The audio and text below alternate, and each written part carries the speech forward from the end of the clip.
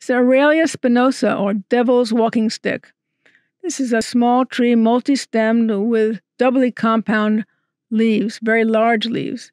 There are thorns on all, all around the rachises of the leaves. There are thorns on the branch, thorns on the bark. This is a very thorny plant, aptly named devil's walking stick.